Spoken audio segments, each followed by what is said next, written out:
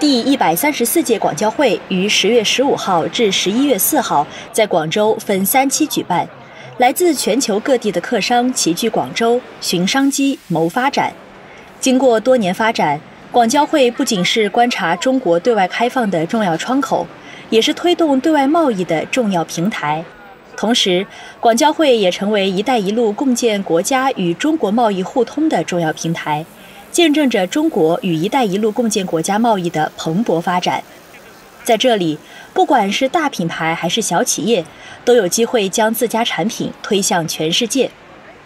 梁永生的企业来自广东著名的侨乡江门，摊位面积不算大，但来此咨询的外国面孔络绎不绝。近年来，中国的新能源汽车、机床和机械等对“一带一路”共建国家出口持续增长。广东的本土企业也跟着业绩上涨。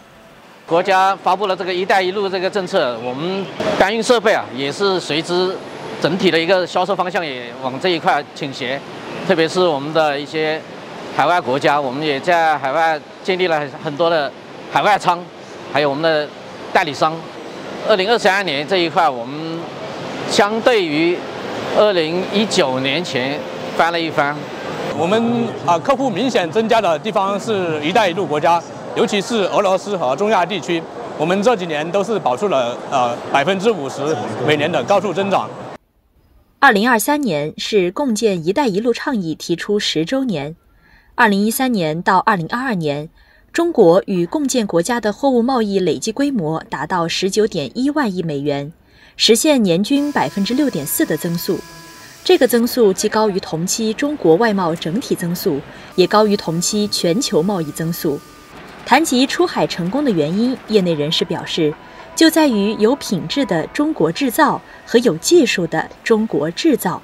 企业的出口增长量，一方面是我们的呃主动性更强，呃我们会主动参加像广交会类似这种大展会，也会到国外一些国家去参参展。第二方面呢，是我们的产品的质量。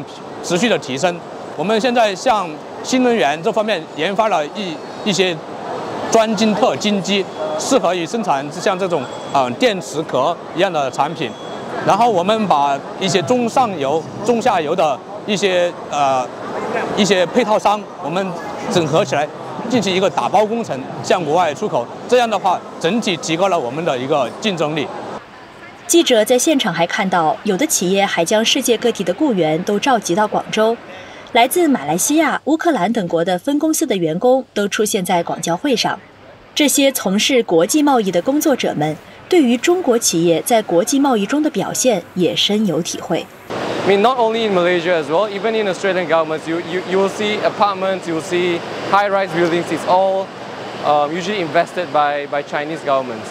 Chinese products are across all over the world, not just the few countries I mentioned, but it's more evident in the Southeast Asia countries and also in Australia because there are a lot more um, Chinese products. People start to accept it more because the, the demand for it increases as well.